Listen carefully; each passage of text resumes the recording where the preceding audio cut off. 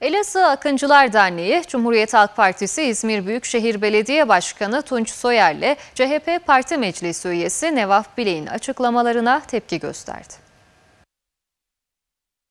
Elazığ Akıncılar Derneği Başkanı Tevfik Sadak, Cumhuriyet Halk Partisi İzmir Büyükşehir Belediye Başkanı Tunç Soyer'le CHP Parti Meclis üyesi Nevaf Bilek'in açıklamalarına tepki gösterdi. CHP İzmir Büyükşehir Belediye Başkanı Tunç Soyer'in ardından yine CHP Parti Meclisi üyesi olan Nevaf Bilek'in Diyarbakır Kürdistan'ın önemli bir şehridir açıklamasının Türkiye'nin bağımsızlığına ve egemenliğine ciddi bir saldırı olduğuna dikkat çeken Sadak, bu açıklamaların sıradan bir siyasi açıklama olarak görülemeyeceğini edileceğini, bu açıklamaların bilinçaltında Osmanlı ve Türkiye düşmanlığı yattığını dile getirdi. Tevfik Sadak, Akıncılar ve Mehmetçiklerimiz dört bir cephede savaşıp başta Yunanlılar olmak üzere düşmanları denize dökse de düşmanın ağzından konuşarak Osmanlı'ya laf söyleyen, Diyarbakır'ı Kürdistan ilan eden isimlerin varlığı ve hezeyanları her kesim tarafından sorgulanması gereken önemli bir olaydır ifadelerini kullandı.